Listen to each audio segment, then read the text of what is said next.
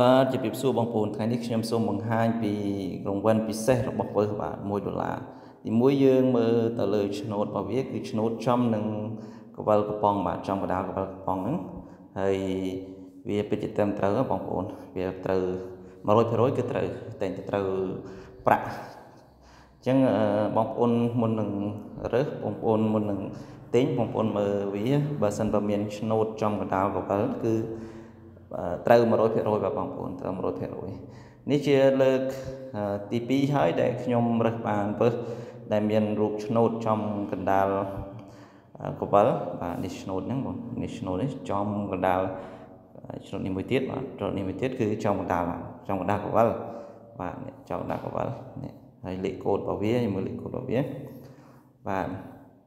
ឡូវនេះជាជូនជាងបាទជូនជាងជូនជាង ហើយគាត់ពិសាបាទអញ្ចឹងសូមអរគុណសូមជម្រាបលាបាទ